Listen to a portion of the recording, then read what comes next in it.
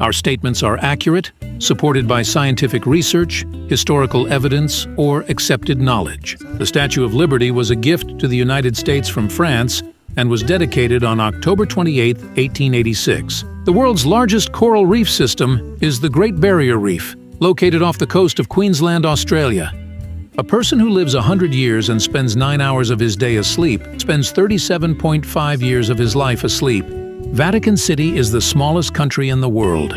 Oxford University is older than the Aztec Empire. Giraffes have the same number of neck vertebrae as humans, 7. The moon looks upside down in the southern hemisphere. Google's founders, Larry Page and Sergey Brin, originally called their search engine Backrub in 1996. The name reflected how the search engine analyzed backlinks to determine the importance of a website.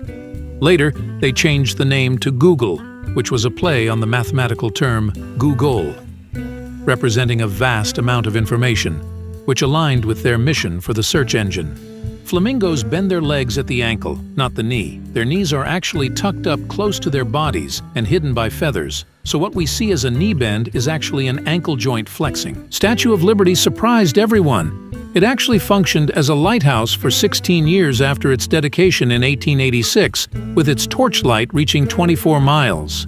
You can see four states from Chicago's Willis Tower, Scorpions are older than trees. The earliest known scorpion fossils are around 430 million years old, while the first trees appeared roughly 360 million years ago. This means scorpions predate trees by about 70 million years. The sound of a blue whale's call can travel hundreds of kilometers underwater, making it the loudest animal on Earth. In fact, their calls can be heard by other blue whales across entire ocean basins. Although Earth is the fifth largest planet in our solar system, it is the densest. This means that for its size, Earth packs a lot of mass, which contributes to its strong gravity and the presence of a liquid outer core. There's a fruit that tastes like chocolate pudding. Native to Central and South America, the fruit is called black sapote, and it tastes like a combination of sweet custard and chocolate. Until next time, stay curious and keep exploring the amazing world around you.